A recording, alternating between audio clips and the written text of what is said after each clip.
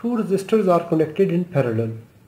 2R00 2R70 2.00 ohm and 2.70 ohm.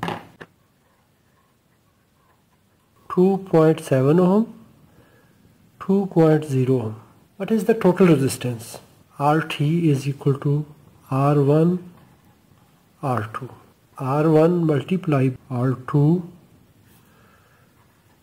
R1 plus R2 R1 2 ohm multiply with 2.7 divided by 2 plus 2.7 it is 1.148 ohm.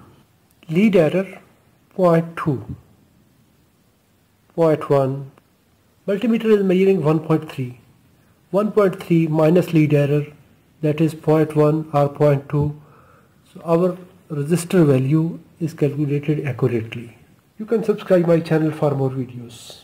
Thanks for watching.